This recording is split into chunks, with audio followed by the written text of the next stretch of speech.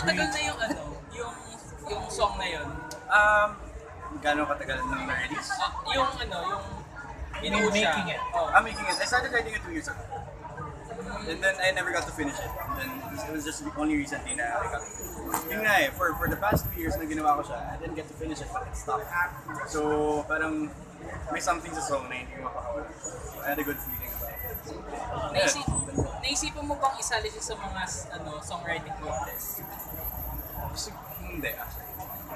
Kasi um, parang for me, it's it's more of an intimate personal song than the type that you ano, yung nagsasali mo sa competition. Iba kasi yung hassle dun sa competition. There's a certain uh, formula. But siguro, maybe some other time. But for now, I'm just happy sharing it with people. You know, yung gan- ganung level lang, sobrang saya na ako. Hindi na ako maasa ng mga competition competition. Gaano ka kalayo pa sa pinaka-dream what you want to do with your, your singing career? Honestly, feeling ko sobrang live. Sobrang live. Kasi um, I don't think there's an end to it. Like, I see it as a forever work in progress. Parang, it's, this is just the start. This launching is just the start. It's one of many.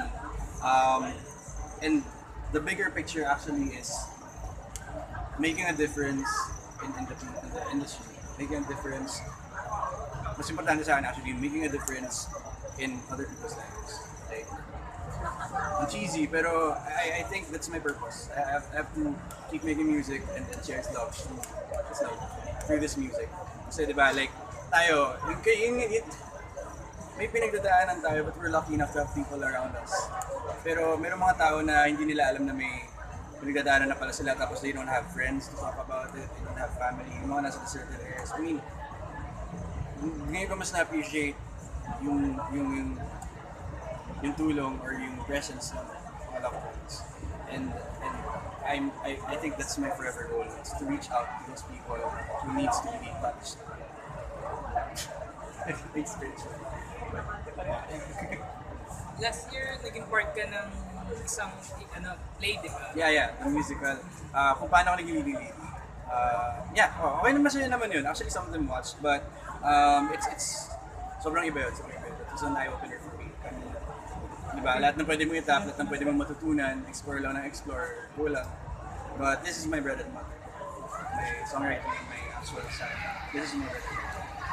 Since this is a single, are you planning to eventually put up a couple more songs? Yeah, actually, release an album? nakalatag na siya. Uh, I'm doing a single and then hopefully I do a collab with two artists and then I'll launch another single. Then I'll release an EP. So that's, that's within this year. EP, so around seven songs. Uh, five songs. So we're still testing the waters. Kasi um, yun dun ako dehado eh, na parang ang dami na nagsasabi na that the, the music I want, the music kind of music I play, it's not for everyone. I mean, but again, you can't please everyone. So I'm, I'm trying to find a thin line na parang saan makaka-relate yung mga tao sa mga pinagdaan. So I'm, I'm, that's what I'm doing now. The. I'm seeing up to how personal and intimate I could get makaka-relate pa yung. Are you also uh, um, going to be campaigning for this EP? Uh, going to you know different radio stations? Yeah, yeah. Uh, Actually, so you can get the amount of airplay that you want eventually. Well, this is actually just the physical launching. But it was released on radio two weeks ago sa Barangay LS. And then now I think it's playing in other radio stations. as well. It's also up now on Spotify, iTunes, Deezer. Um, yeah, yeah. So we're doing more. Um, also, we did an indie film. It's showing this May. And the single was used for that. So tuloy-tuloy yan. Tuloy-tuloy yung pag-promote ng single. Hopefully talaga ito na yung simula. Uh, would you like to thank? Of course, of course.